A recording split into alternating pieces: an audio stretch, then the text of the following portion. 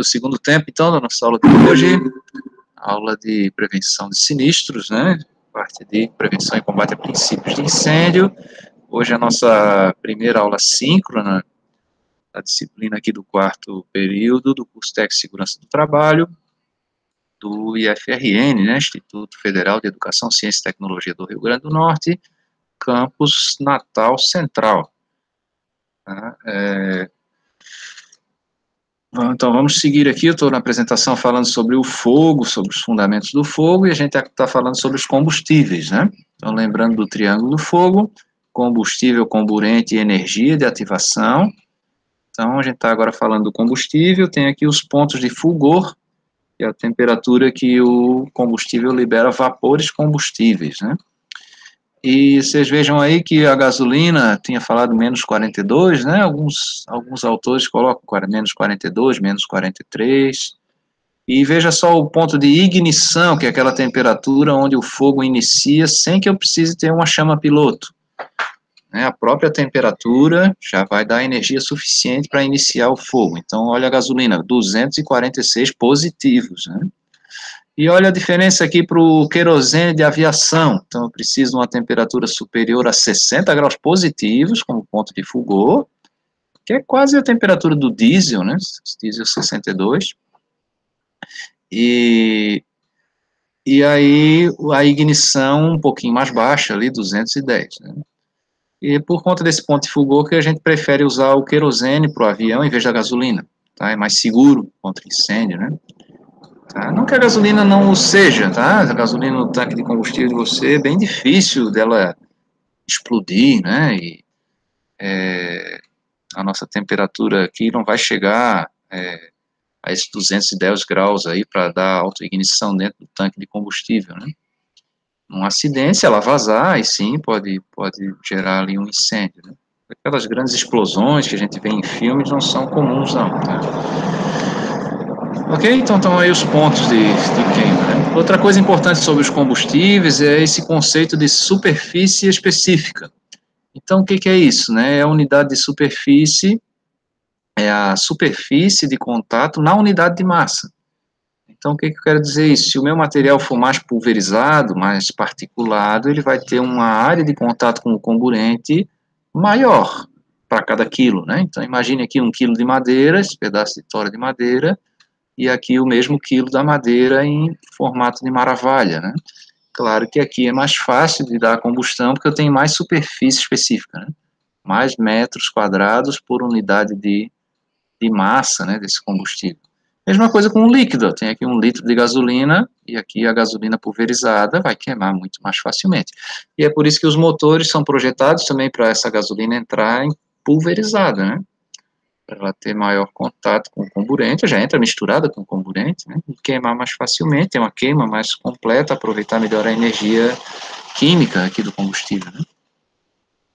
Então, aqui à esquerda eu tenho uma tonelada de papel, que seriam os arquivos aí da maternidade, escola, Januário Ciclo, e à direita eu tenho os prontuários também na prateleira convencional, né. Então, à direita eu tenho a mesma tonelada de papel, só que com mais superfície de contato com o comburente, né. É mais fácil de pegar fogo, né? Além dos outros problemas de ocupar mais espaço, de ter poeira, né? De ser mais difícil localizar, se prefere usar o armário sob trilhos por isso, né? Ele fica mais compactado e cabe mais coisa e é mais bem protegido da poeira e também do incêndio. Falando agora do comburente, importante a gente lembrar que para incêndio, né, o principal comburente é o oxigênio,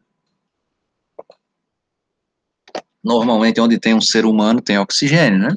É possível ter o ser humano em locais que não tem oxigênio, por exemplo, uma atividade de mergulho, num espaço confinado, né? Mas normalmente onde a gente está tem oxigênio. Para acontecer o fogo, eu preciso de 11% de oxigênio.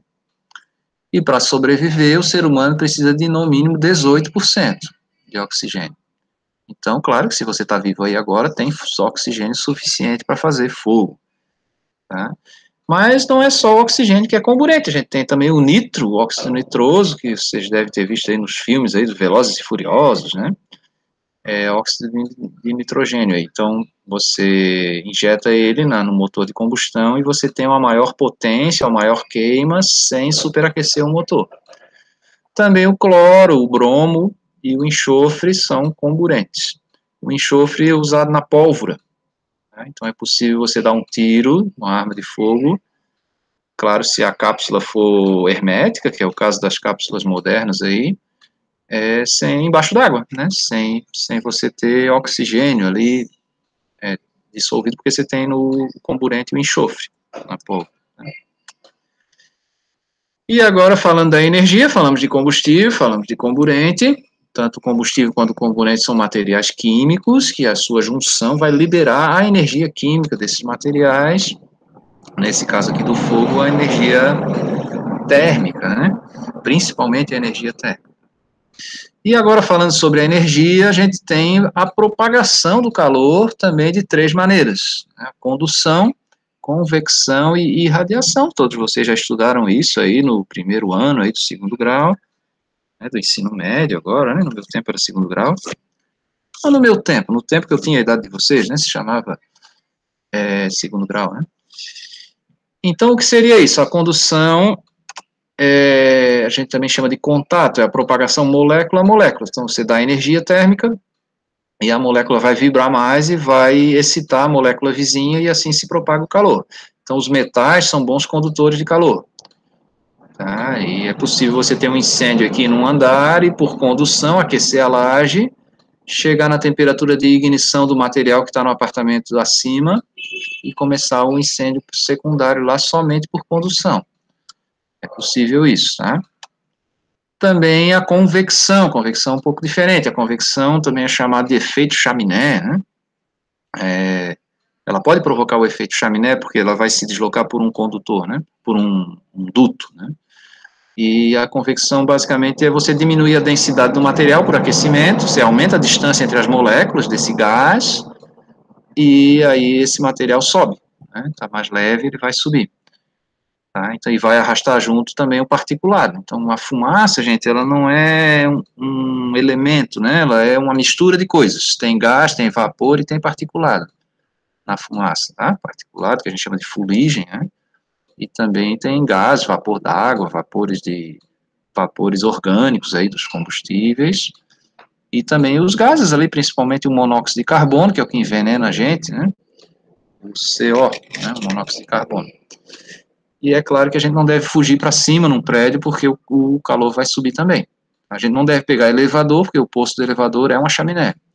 E normalmente no incêndio a energia elétrica cai, você fica trancado dentro do elevador, trancado, trancada dentro do elevador, é, e se intoxica, né? A fumaça. Então não pega elevador, a gente desce pela escada, foge sempre para baixo. Tá? E ainda a terceira maneira é a irradiação. Tá? A irradiação é uma energia eletromagnética, a propagação de uma energia eletromagnética. A energia eletromagnética a gente chama de radiação e a propagação dela de irradiação. Aqui no Brasil, os dois termos significam a mesma coisa, mas conceitualmente é isso. Então, a irradiação seria a propagação de uma radiação. Né? E é por isso que a gente tem que ter distâncias de um prédio para o outro, e essa distância é sempre maior se tiver janela. Se tiver janela em um dos prédios, a distância vai ser maior do que se não tivesse janela em nenhum dos dois prédios. Se tiver, se tiver janela nos dois prédios, essa distância tem que ser maior ainda. Isso é colocado em norma do bombeiro, é o que a gente chama de risco isolado. Então tem que ter uma distância entre as edificações para evitar essa propagação por irradiação.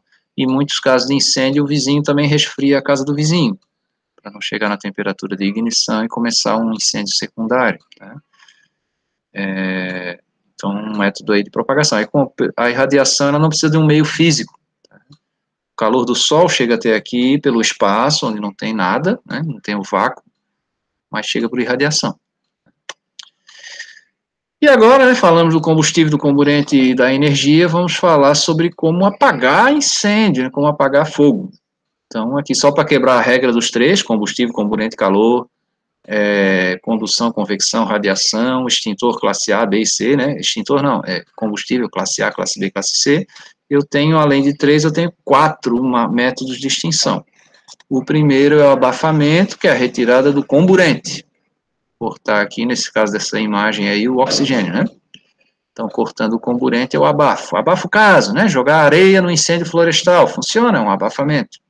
A gente vê o cara lá batendo com uma ferramenta no fogo, né? O fogo, fogo na pastagem, lá no incêndio lá do, do Pantanal, né? Abafamento, funciona.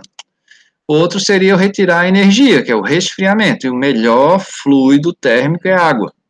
Você joga a água, ela muda de fase e rouba o calor. Tá? O calor latente aí de mudança de fase da água, de, de vaporização da água, rouba o calor daquela reação química. Então tem aí o resfriamento. E eu tenho também o isolamento, que é o retirar o combustível. É por isolamento que a gente consegue apagar o nosso fogão a gás. Você gira ali a válvula e consegue apagar né, o seu... Não sei se vocês já viram um fogão a lenha, né? Mas você já deve ter algum parente aí no interior e tem um fogão a lenha, né? Lá em Santa Catarina a gente diz que é um fogão a pilha, porque tem uma pilha de lenha do lado, né? E como é que apaga um fogão a lenha? Não, eu posso jogar água, mas vai dar uma fumaceira danada, né? Então a maneira de apagar o fogão a lenha é parar de botar lenha. Né? Ou abafar, jogar areia para poder abafar aquele fogo e poder reaproveitar aquela lenha para queimar amanhã de novo, por exemplo, né? Então, a melhor maneira de cortar o combustível, a gente chama de isolamento. E a quarta maneira é você quebrar a reação química. Tá? E para isso a gente tem que usar um agente inibidor. Tá? Inibidor é o contrário do catalisador. Né? O catalisador é um agente químico que vai acelerar a reação química. Tá? Não sei se vocês já viram ali aquelas, aquela massa que a gente usa para fazer reparo em automóvel. É, o Anderson está dizendo aí que não tem automóvel, né? Mas quem já viu um automóvel, o cara passa uma massinha ali, né? Aquela massa ela vem bem plástica ali, chama massa epóxi, né? E aí você pinga uma gotinha nela e ela fica quente e solidifica, né?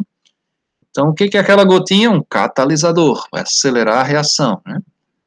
Tá? O Durepox são duas massinhas que a gente mistura uma na outra, né? Então, tem ali um, um elemento de catalisação, de aceleração dessa reação de enrijecimento, né, do polímero. E o inibidor é o contrário, eu vou jogar ali, ele vai matar a reação química. Tá? O principal inibidor que a gente usa em incêndio é o bicarbonato de sódio. Tá? É o famoso pó químico seco ali do extintor de incêndio, bicarbonato de sódio. Existem outros pós extintores, tá? mas o principal é o bicarbonato. Tá? É, falar um pouquinho também de explosão. Ó, a explosão não necessariamente é um incêndio, tá? A explosão é uma expansão abrupta. Então, quando você explode aqui um gás, por exemplo, você, claro, tem ali uma ignição dessa mistura de gás com a, o oxigênio, sempre precisa ter o elemento comburente, né? Então, nesse aqui, a gente teve essa explosão grande aqui, lá, e matou três pessoas, né, no Rio de Janeiro, um restaurante, né, um vazamento de gás de cozinha, explodiu o gás que vazou, tá? Não é o cilindro que explodiu. É possível um cilindro explodir? É possível. Né? A gente vê esses cilindros de automóvel, aí se aumentar muita pressão no cilindro, ele pode explodir. Mas esses cilindros de gás, eles têm um dispositivo de, de, de ruptura para evitar que ele tenha uma sobrepressão. Né? Então, o que acaba explodindo é o gás que vazou, né? E aí você tem uma reação, você tendo uma centelha, por exemplo, alguém vai lá acender uma lâmpada, você consegue explodir aquela mistura. Tá? Eu preciso ter no mínimo 5% do gás no, no ar, tá? Pra, no caso do gás de cozinha, né? para explodir. Limite inferior de explosividade, 5% aí. O gás de cozinha é o butano propano, a mistura né? de butano com propano. Tá? Falar um pouquinho de pólvora também, já que a gente está falando da, da explosão, né?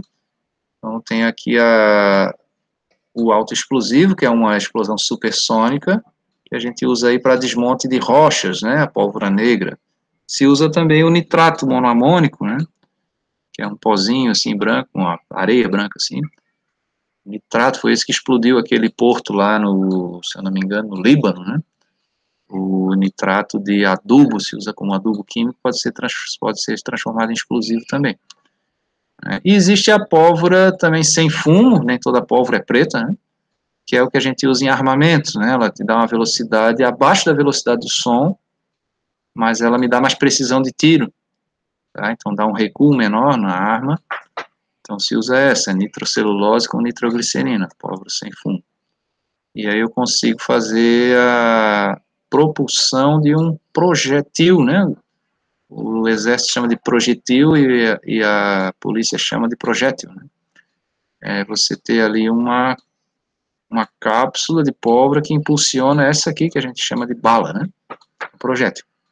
Ele vem girando, né, para ter mais precisão de tiro, o cano da arma tem que ser, tem uma ranhura helicoidal para esse projétil sair girando. Aqui só curiosidade, né? A gente não consegue apagar a explosão, tá? Existe explosão também sem fogo. Você pode ter um tanque pressurizado e explodir ele sem fogo. De qualquer forma, aquelas centrais de gás, combustível, tem que ter a proteção por extintores para a gente evitar que um princípio de incêndio localizado ali vá botar em perigo o armazenamento de, inflamável, né, de gás inflamável. Tá? E uma das coisas que a gente usa no combate ao princípio de incêndio é esse cara aqui, o extintor portátil, que nada mais é que um cilindro onde eu vou guarnecer ele ali com um agente extintor. Esse agente extintor pode ser várias coisas, né, mas principalmente água, dióxido de carbono ou bicarbonato de sódio, os principais tipos aí. Tá? CO2, água e o, e o pó químico, bicarbonato. Para esse agente extintor sair dali de dentro, sem ter uma bomba, sem ter, eu, eu vou usar a pressão de gás. Então, esse gás que é chamado gás propelente. Então, normalmente é o nitrogênio. Tá? Pode ser argônio também, mas normalmente se usa o nitrogênio, que é mais barato. Você pressuriza o extintor com nitrogênio, e aí, claro, para não sair só o gás, você usa aquela coisinha ali, um canudinho ali, chamado sifão. Então, o gás fica em cima e o agente extintor fica embaixo, por conta da densidade, né? E aí, quando você abre a válvula, a pressão vai conseguir expandir, o gás vai conseguir expandir, né? E vai empurrar o agente extintor pelo sifão, vai sair lá pelo mangote e pelo difusor, e vou conseguir abrir, né? É, disparar sobre o fogo aquele meu agente extintor. Para regular isso, eu tenho uma válvula e que é acionada por um gatilho ali em cima, né? E claro que essa válvula tem que ter um lacre, uma trava de segurança para não ser acionada de maneira involuntária, então tem um grampo ali, tipo um pino de granada, né? E esse grampo tem um lacre também, que vai garantir que ele não foi violado, né? Não foi usado inadvertidamente, tá? Então tem que tirar o grampo. Para tirar o grampo, tem que romper o lacre, a maneira mais correta, mais fácil, né? Que eu considero a maneira correta é você girar o grampo. Você gira o grampo, aí você consegue romper o lacre, aí você puxa o grampo e está liberada a, a, o travamento da válvula. Esse manômetro ali é um reloginho, né? Ele vai estar tá indicando a pressão do propelente. Se tiver no vermelho, porque vazou esse propelente, ou o extintor foi usado, ou teve um micro vazamento aí na carcaça, normalmente aí nesse pescoço aí do, do nessa conexão da válvula com o cilindro. E aí o agente extintor está todinho ali dentro, mas ele não sai porque não tem pressão para propelir, né, para impulsionar esse agente para fora. Tá? Então, decore aí os três principais tipos de extintor. Para classe A, não é extintor classe A, tá? É combustível classe A, papel, madeira, aí eu uso água. Combustível classe B, aí decore aí, né? Eu uso bicarbonato, que é o pó químico seco. Combustível classe C, eu uso CO2. E existe ainda, né, o pó K ali, que é o acetato de potássio, e o pó ABC, que é o fosfato monoamônico. O ABC apaga as três categorias de fogo e as três classes de fogo, é bem mais caro, né? A manutenção do extintor é bem mais cara. E o POK, esse fosfacetato de potássio, para locais onde eu tenho óleos e gorduras, né? óleo de soja, gordura animal, que são combustíveis. Então, o acetato de potássio funciona melhor para esses, para essa classe do fogo e a classe K. Certo? Pode falar, Maria.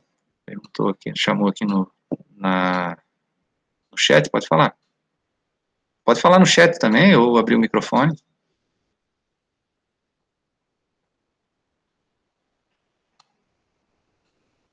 Cortou aí? Quer falar? Pode falar, Maria. Perguntar? Pode acontecer acidente e apagar o fogo com algum tipo de extintor que não é o correto o que, que pode acontecer, né? Pronto, vamos lá. É, se você jogar água em eletricidade, a água conduz eletricidade, né? apesar de algumas pessoas não acreditarem nisso, porque você toma banho ali pelado no chuveiro elétrico, né? Mas, assim, o chuveiro tem aterramento, ele tem também, é muito mais fácil a, a energia sair pelo fio neutro e pelo fio terra, né? Tá? Então, por isso que ele não toma choque, né? Mas se você não tiver um aterramento, você pode tomar choque no, no chuveiro, né? Então, a gente não deve jogar água em eletricidade. Outro problema é você jogar água no líquido inflamável, porque tem dois fenômenos aí. Um é você espalhar o líquido, e aí você aumenta a chama, porque o líquido inflamável ele queima na superfície, né? É, e você pode também acontecer o fenômeno do boil over, quer dizer, você faz uma bolha de vapor e aí você consegue pulverizar esse, aumentar o fogo, né? Pulverizar o líquido, né?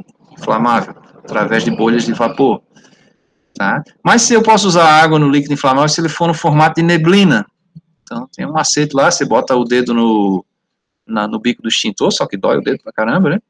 E aí você joga ele em formato de neblina Aí você consegue resfriar um líquido inflamável. É, mas não é bem aconselhável, né? Outro problema é você jogar o pó químico é, no material elétrico, ele também apaga, né? Mas o bicarbonato de sódio, ele é um material corrosivo, então o que o incêndio não destruiu, é, o pó químico destrói, né? O extintor destrói. Então, por isso que é mais adequado você usar o CO2, né? Outra coisa, o CO2 ele não é eficiente para materiais classe A. A gente faz isso na prática lá, bota um carvão numa lata, né? E tenta apagar com CO2 e você não consegue apagar, porque o, o material classe A ele queima nas entranhas, não é uma queima de superfície, né? Então você não consegue mesmo apagar com CO2. Tá? A não ser que você elimine todo o oxigênio daquele ambiente, mas não, não consegue isso com um extintor portátil. Você conseguiria, que se usava isso, né, daí que se inventou o extintor de CO2, né, na Segunda Guerra Mundial você tinha cilindros de CO2 nos compartimentos dos porta-aviões. Então você fecha o compartimento e solta o gás ali, aí você expulsa todo o oxigênio e consegue apagar. Né, um incêndio, né, um submarino, ali num avião, um porta-avião, naquele compartimento. Né. É, aí é possível. Então, os mais adequados é isso, você usar água para material classe A, bicarbonato para os líquidos inflamáveis e o dióxido de carbono, né, o CO2, para os equipamentos elétricos, porque o CO2 não deixa resíduo e ele consegue expulsar o oxigênio e apagar o princípio de incêndio. Lembrar que extintor é para princípio de incêndio, tá? Incêndio é igual estagiário, ele começa pequenininho, mas se, se não tiver sob controle, já vira gerente, né, e manda em todo mundo, né? Tá? Então temos que saber direitinho, sim. No rótulo, né, Maria está comentando aqui no chat, no rótulo do extintor diz isso, mas a gente tem que ter treinado, ninguém vai ler rótulo, manual de instrução na hora de uma, de uma urgência, né? O princípio de incêndio, espera peraí que eu vou estudar aqui o extintor para ver o que, que eu faço, né? Então, estudar para saber, treinar, né, estudar antes, para a gente saber qual usar. Tá? Vamos ver se vocês estudaram agora. Vou fazer aqui, ó, ligue a coluna A com a coluna B. Então, vamos lá. O que, que vocês acham aí? Abra o microfone aí me diga o que, que eu apago esse extintor, esse motor elétrico. Com qual extintor? Quem se arrisca pode falar aí no chat também. Extintor vocês usariam o de água, o de pó químico seco. Professor, todo pó é seco? Não, nem todo pó é seco. Existe o pó químico umedecido, que é aquele para Aqui CO2, ó. beleza, né? Vamos lá, esse outro cara aqui, anjo, né? O solvente de tinta, que material vocês usariam? PQS, beleza. Dá para usar o CO2 também, mas ele não é tão eficiente, tá? Mas também apaga. Aqui, um papel, bolinha de papel. Liga aí no chat, alguém me ajuda. Laiane, Marielle já falou também. Aqui, papel, eu uso água, tá? Classe A, uso água combustível classe A usuário. Aqui, computador, computador desktop aí, CO2 aqui, gasolina, pó químico. Esse aqui é um painel elétrico de disjuntores, ó, CO2. Um pneu, quem se arrisca? O que, que eu pago? Borracha, que categoria que é? é isso, água, né? Aqui, tampinha de garrafa, plástico. Água também. Tem até uma história aqui sobre pneu, eu, eu, eu fiz um, participei de um treinamento quando eu fiz engenharia de segurança, o professor levou a gente no corpo de bombeiros do aeroporto, lá, o aeroporto Ercílio Luz, lá em Florianópolis, e a guarnição lá fez uma simulação para a gente, tem uma montanha de pneu lá, e trouxeram o caminhão tanque, né, que em aeroporto você tem que usar um caminhão, a água é muito pesada, né, para ser transportada, então você não vai ter uma rede de hidrantes, uma pista de pouso, né, então você tem um caminhão.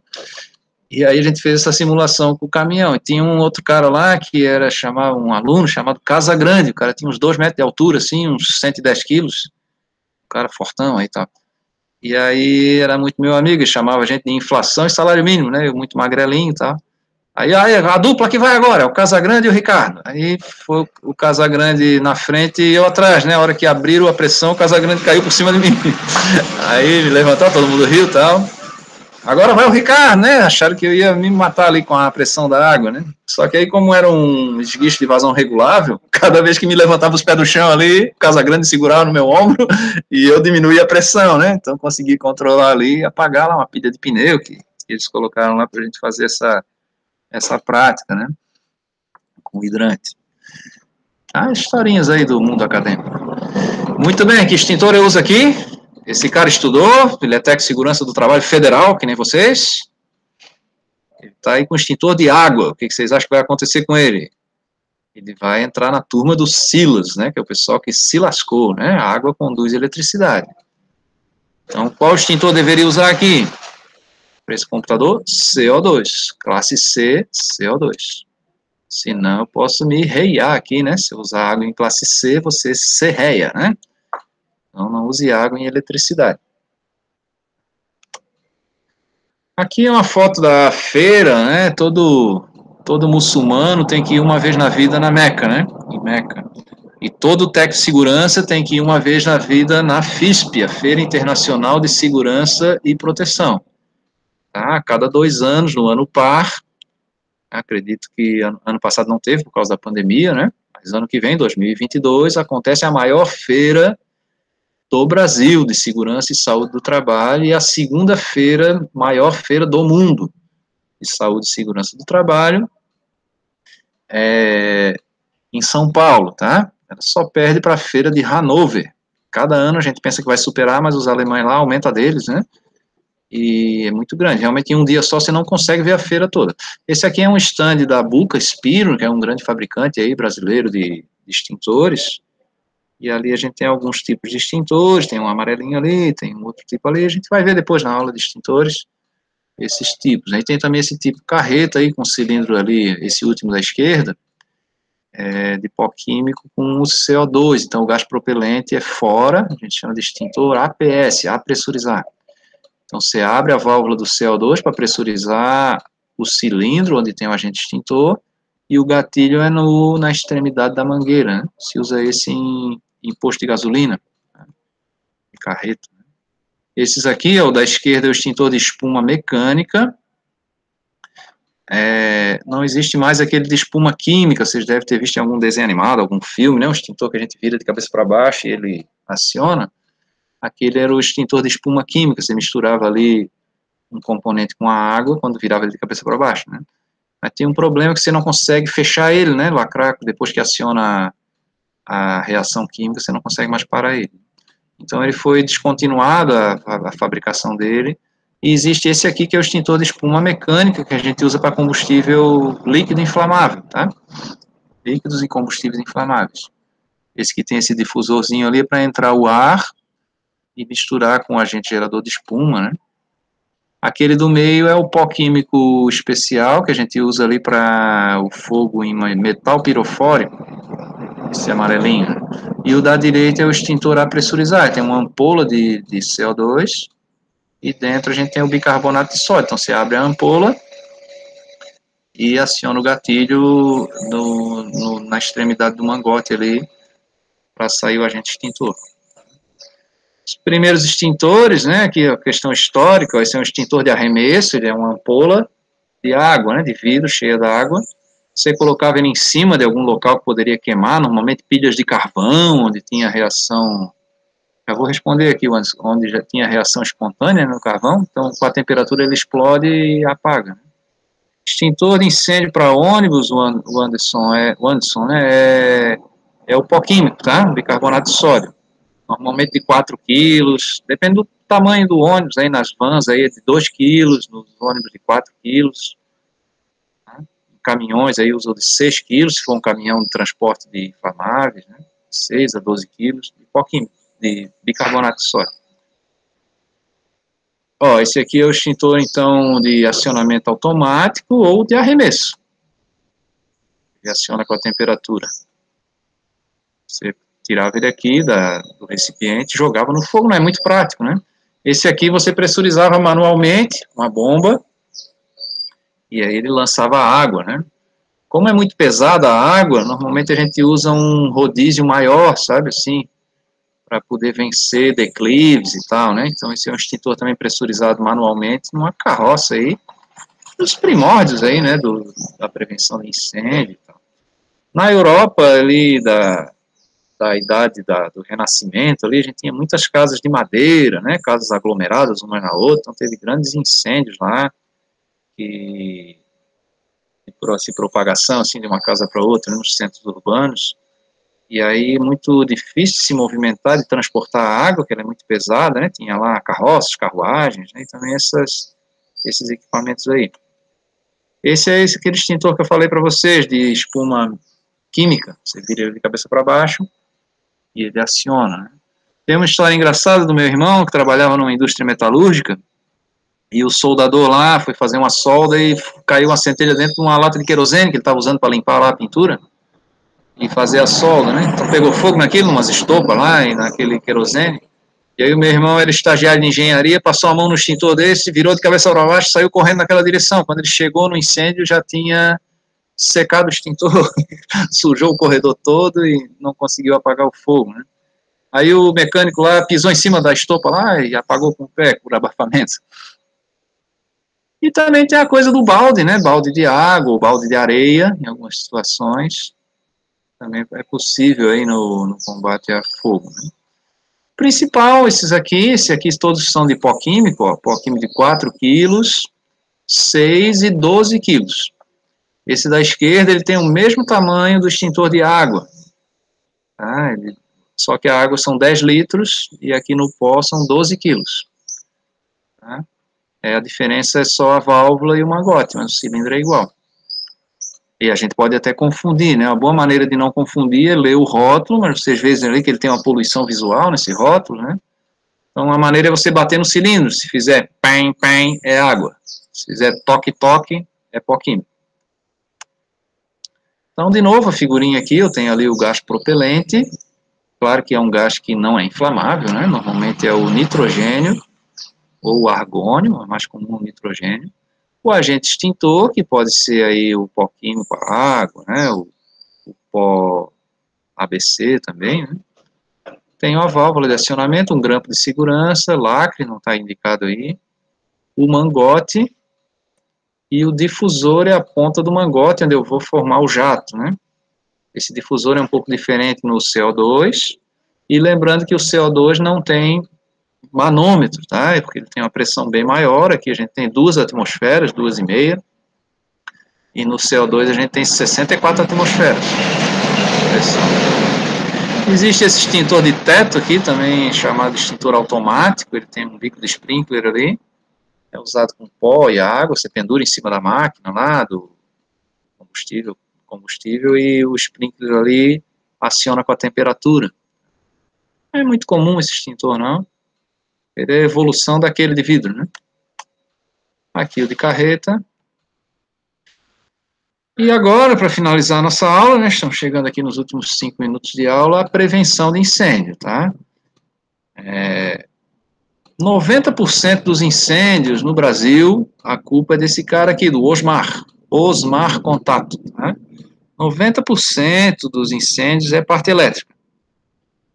Tá? É, por conta de sobrecarga elétrica, ou por instalação elétrica mal feita, ou por desgaste da instalação elétrica, eu acabo tendo ali aquecimento por resistência de contato, que vai provocar vibração, e aí tenho a quebra dos isolantes, né, e aí o famoso curto-circuito, que gera muito calor, né, vocês vejam que a gente consegue abrir um arco voltaico e fundir o aço, né, 1436 graus Celsius, com eletricidade, então é uma boa fonte de ignição. 90% dos incêndios têm origem elétrica, Os outros, no Brasil, né, os outros 10% são aí causas naturais, raios, aquecimento solar, com incidindo sobre fundo de garrafa, é, displicência, por exemplo, bituca de cigarro, sabotagem, incêndios criminosos também, é, vandalismo, mas 90% no Brasil, nos países mais desenvolvidos é diferente, mas no Brasil é parte elétrica. Então tem que cuidar com o que a gente chama de gambiarra, né? Gambiarra é a instalação elétrica dos teatros ambulantes. No começo do século, ali, 1920, tinha muitos teatros ambulantes e o espetáculo se passava uma fiação como a gente vê na feira do milho, né, assim, um monte de luzinha pendurada no, no fio elétrico, né, o nome daquilo era gambiarra. Como tinha que montar e desmontar muitas vezes, era muito comum pegar fogo nessa desgraça, né, e até hoje, quando a gente vê uma instalação elétrica mal feita, a gente chama de gambiarra, né. Então, aqui eu estou tendo uma sobrecarga, né, um, o famoso T aí, uma derivação, estou colocando muita carga para aquele ponto elétrico. Né? Isso aí vai dar superaquecimento, vai romper, vai dar a resistência de contato ali, aqui, desculpa, aqui superaquecimento e aqui resistência de contato. Se o contato não for bem efetivo, eu tenho ali um aquecimento no contato elétrico. Então, se a emenda não foi bem feita, se o plug não é adequado, nesse caso aí não tem nem plug, né? Botaram até uma corda ali para facilitar o fogo, né? E além do problema do acidente com choque elétrico, você tem um princípio de incêndio. Né? Aqui também, ó, sobrecarga elétrica, da tomada. Talvez vocês tenham uma instalação dessa na casa de vocês aí, para ligar a impressora, o computador, né? O celular. Não façam isso, né? Você está aqui aumentando a, a capacidade, né? extrapolando a capacidade daquele ponto de corrente elétrica ali, da tomada de corrente elétrica. Né? Além disso, eu tenho resistência de contato em cada conexão dessa, aqui, tá? Ó, na casa da minha sogra, lá a está dizendo que é desse jeito, né? É, então, o que, que eu tenho que fazer aqui? Se eu substituir essa tomada por uma tomada tripla, já não vai caber um, dois, três, aqui são três equipamentos, né? Eu consigo ligar três equipamentos na mesma tomada, mas eu tenho que ver, aí eu, eu tiro esse problema da resistência de contato, mas não tirei o problema da sobrecarga da tomada. Cada tomada dessa é projetada para 100 watts, tá? Então, eu posso ter uma tomada tripla com o mesmo fio, se esse fio foi dimensionado para os 100 watts, e se os equipamentos não extrapolam aí os 100 watts. Se eu tiver ali bonitinho o fio 2,5 milímetro quadrado, né? O cabeamento bem feitinho ali, a instalação elétrica bem feita, né? O Benjamin, o Anderson está falando, ele chama de Benjamin, né? Também outro equipamento que se chamava antigamente de Benjamin é aquele conector que você põe na lâmpada para ter uma tomada na lâmpada, né? Ele chamava de Benjamin. Né? Tudo isso é adaptação gambiarra, né? Não deve usar, não. Pronto, essa imagem aqui assusta um pouco, mas o problema aí não é a quantidade de fios, mas a quantidade de conexões. Tá? Eu estou sobrecarregando a rede elétrica. E aqui tem um filminho, vocês procurem aí na internet, Gambiarra Master. Tem um filme do cara ensinando a botar a nova tomada ABNT nessa tomada antiga, né? O Brasil vou arriscar o palpite aqui, mas é um dos maiores fabricantes do mundo de adaptador de tomada. Porque a gente tem vários tipos aqui, né? Foi evoluindo para tomada. Chegamos nessa tomada de três pinos agora, que é mais segura, é bem moderna essa nossa tomada, ela tem um rebaixo, né? O pessoal está até politizando aí, que diz que é a tomada do Lula, porque tem 2P mais T, né? 2PT, né? dois pinos mais o terra, né? Fase neutra e terra, né? Então, mas de qualquer forma é uma tomada que só existe no Brasil, e, mas ela é segura, é bem mais segura do que essa daqui, que está nessa imagem. Né? Essa daqui já é uma tomada que serve para dois plugs, o plug americano e o plug europeu, né? Então tem ali o pino chat e várias outras que a gente tem aí, ainda existem, né, na casa da gente, naquelas casas mais antigas, né? E aqui na casa do meu sogro eu fui substituindo, mas é caro, você vai comprar cada tomada dessa é 30 reais, então você vai trocar 10 a 300 reais, você acaba usando um adaptador. Né? Aqui tem um videozinho também dessa aqui essa árvore de Natal dentro de uma privada aqui, ó, decorada com papel higiênico, né? É para simbolizar que elas pegam fogo, tá? A árvore de Natal é bem combustível e a instalação elétrica daqueles produtos Xing Ling, né, não são seguras, né? Então é comum pegar fogo em árvore de Natal. Tá? Então, se você sair de casa, desligue a árvore. O Papai Noel ele chega mesmo sem a árvore estar tá acesa, tá? E é muito comum, aconteceu já de, de, de você monta essa árvore perto da porta principal da sua casa e você fica encurralado no apartamento, né? Cuide aí. Outra coisa de incêndio é o celular, tá? A gente não recomenda que vocês usem o celular agarrado no carregador. Por quê? Porque você está consumindo mais corrente e você vai superaquecer o carregador. Então, ele pode pegar fogo e ele pode também romper, é, romper, a gente sabe que a energia que vai para o celular é corrente contínua, não vai matar você de choque elétrico. Mas se romper o isolamento elétrico do, do carregador por superaquecimento, acaba vindo 220 na sua orelha. Tá? Então não é bom você usar o, o celular ligado no carregador. Tá? Outra coisa aí que vocês devem estar praticando agora é botar o laptop em cima do travesseiro. Tá? É, aqui o Luiz Felipe está falando também da sobrecarga, já vou falar disso aqui. Você botar o computador, o notebook, laptop em cima do travesseiro, você está você tá tapando as, as saídas de ventilação. E aí ele pode superaquecer e pegar fogo, e tocar fogo no seu travesseiro. Tá? Além de você perder o computador, pode iniciar um incêndio, tá? Então não use o computador em cima de travesseiro. Tá? E aqui o Felipe, o Luiz Felipe está falando, quando cai a energia e quando ela volta, ela pode voltar num pico de corrente, uma tensão maior, e dar um pico de corrente e queimar os seus equipamentos, né? O seu carregadorzinho que está ligado na tomada ali pode pegar fogo também.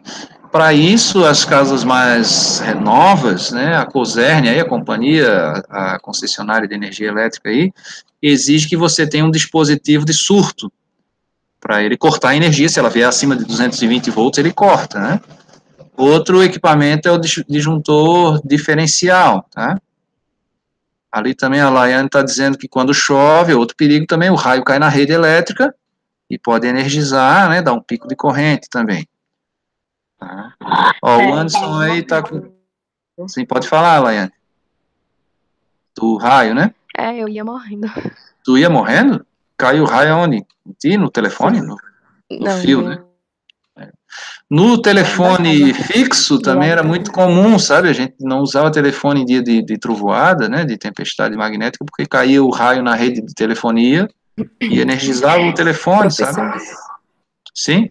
Aqui queimou, na casa lateral, queimou duas televisões, na frente duas, e aqui apagou a metade da rede elétrica. É, aí você vai lá processar a companhia, né? Querer que a COSERN indenize você. Aí a COSERN vai dizer: olha, de acordo com os protocolos, com as normas de ligação, a sua instalação é antiga, mas você deveria ter regularizado e botado o dispositivo de antissurto. Tá? É tipo um disjuntor que ele vai matar esse surto, né? Geladeira, muito comum, né? Queimar também e tal. Notebook com a bateria viciada, né? Aqui, gente, eu não tenho muito problema de usar ele ligado, como o meu tá aqui também, ligado na energia, uh, porque o, o notebook aqui ele tem o aterramento, né? O carregador de celular não tem o aterramento. Então, se der aqui uma sobrecarga e superaquecer ali o meu carregador e eu tenho o fio terra aqui que está protegendo o meu, meu laptop, é mais seguro do que o celular, bem mais seguro do que o celular, esse choque elétrico de sobrecarga. Tá? E aqui são os equipamentos de proteção, só passar rapidinho para o combate a incêndio, a gente usa alguns equipamentos desse aí, nas nossas práticas, né? Esses dois trajes aqui, ó, essa primeiro da esquerda é um traje tático, o bombeiro usa esse, tá? Porque ele permite que você suba a escada, que você rasteje fogo. E o da direita é o traje de treinamento, a gente chama de traje de aproximação, que você usa em pé, né? Isso que a gente usa nas nossas práticas aí de fogo, aí do IF, né? Você vai se aproximar para apagar o fogo num, num, recipiente lá, em óleo, né? E esse cara aqui, que é o ponta de lança aqui, vocês podem assistir um filme bem legal aí, chamado Brigada 47, que é sobre os bombeiros de Nova York, e tem uma cena que mostra isso, é com o João Travolta, esse filme, Brigada 47. Vocês acham ele aí na internet. Então ele tem um visor aqui que ele é aluminizado, né, para refletir o calor radiante. E aí o João Travolta diz assim, se você está na ponta da linha, você sempre pode voltar pela mangueira, né? Mas o bombeiro de resgate não consegue sair por onde entrou, né? Então esse cara queria virar bombeiro de resgate, né? E aí depois ele, não vou dar o spoiler do filme aqui, mas acontecem umas coisas aí no filme dessa historinha toda aí, da, da, do bombeiro de Nova York. Então vamos para o jogo da forca. A minha forca ela é inclusiva, ela permite pessoas, alunos com necessidades especiais, ela tem uma rampa aí para acessibilidade. Então me diga aí como é o processo de extinção com quebra da reação em cadeia com oito letras. Vocês sabem? Alguém me diga no chat ali. As letras, antes que eu enfoque vocês, vamos lá. Processo da quebra, extinção por quebra da reação em cadeia. Ninguém sabe? Ó, lá vai o bombeirinho, lá vai o bombeirinho morrendo. Ninguém sabe é a inibição, né? Aqui eu já enforco e toco fogo no cara, né? Inibição. Vocês estão muito inibidos. Gente, vamos encerrando. Alguma dúvida, algum comentário? Vou colocar de novo a formulário de chamada. Tentem fazer as atividades lá no Google Sala de Aula. Tentem não, façam, né? Vocês são tech segurança, não adianta querer passar o serviço para os outros. Já casaram com a responsabilidade. Sim, o material urânio, sim, é o classe E. Como é que a gente vai combater? Pronto, aí eu tenho que ter trajes especiais, se usa por resfriamento também, neblina de água, mas eu tenho que ter o isolamento, é, se usa pó químico especial também, eu tenho que ter isolamento contra a radiação, né? Muitos dos bombeiros morrem, né? Lá na usina de Chernobyl, muita gente morreu lá para conter aquele superaquecimento e depois fazer os trabalhos também de blindagem, né? Quando é em embarcação, submarino nuclear ou num navio, a gente usa o CO2. Você inunda aquele compartimento, normalmente mata todo mundo por asfixia, mas consegue apagar tá? aquele, aquele compartimento. Ok? Então temos ali seis tarefas para a gente fazer. Na sexta-feira a gente tem aula de novo, nesse horário, das 14 horas. E aí eu vou continuar aqui esse conteúdo da primeira semana, tá? É, e no mais, a gente vai, vou parar a gravação aqui, e a gente vai se conversando ali, se falando ali pelo WhatsApp, tá?